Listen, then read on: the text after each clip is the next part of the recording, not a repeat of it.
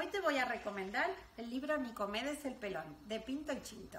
Nicomedes es este señor que, como ven, tiene una cabellera llena de rizos, roja, frondosa, fantástica. ¿Y qué pasó? Que poco a poco se le fue cayendo el pelo hasta que se quedó calvo.